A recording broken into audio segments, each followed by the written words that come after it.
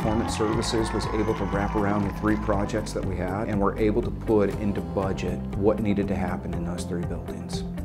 When we have Zimmer Biomet coming in and taking a look at our STEM lab and saying, wow, that looks just like our research and development labs. Um, you know, that, that's an exciting statement to hear because that means you did it right. As we looked at our facilities, the realization was our school facilities were not keeping up with our industry facilities. We bring in our advisory councils, they would be talking about the, the labs that they had, they would be talking about the different atmospheres that, that we needed to be able to prepare these students for the next steps. And so as we looked at it, we, we needed to update our facilities. We need to make sure that we truly are a pipeline for the future. One of the top priorities we had going into this project, because this is taxpayer dollars, and, and we owe it to our community to spend it wisely. And because we had one group, Performance Services, working with all three projects, I really feel like was added value for the schools, but also for the community, as far as what this project was going to cost.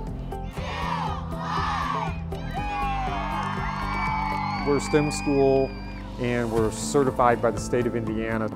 First thing when you walk through the door, they're wowed by the facility that we have. We've pretty much have done is taken two classrooms and just made it a two classroom size, but it's still just a classroom, oversized classroom. But when you walk into here, this is not the normal science lab. Having this space to me is, it provides almost kind of like a Swiss Army knife. And so the way that this space has been prepared is that it gives us opportunity to really be flexible with how we want to engineer it. The space now with the garage doors, we can move between rooms as needed. Resources, regardless of where they are, we have access to them much easier. And so the students see a lot more movement, they see a lot more freedom to be able to do the things that they know that they need to get accomplished. Edgewood Middle School was an open concept building. It was built about 1970. We did not even realize just what a poor learning environment we had. We have been transformed. As you walk around, doesn't look like Edgewood anymore. We have got incredible new STEM space. We've got technology capabilities. We have got better flooring. We've got rooms that have doors.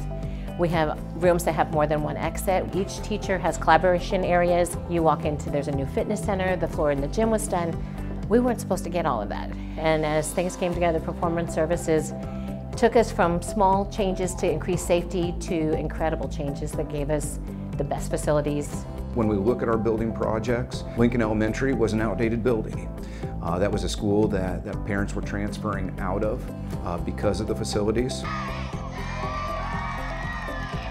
And so by being able to provide them a, a pride piece for their community, we've already seen that community grow up around it.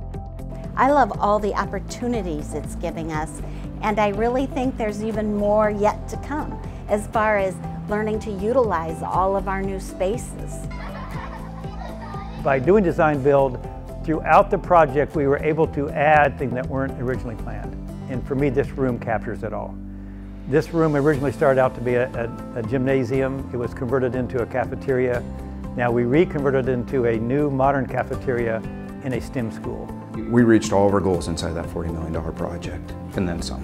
When you look at the upgrades that we were able to put in uh, before this project had ended, we received our value, we received everything that was promised, and we were able to go back and get upgrades.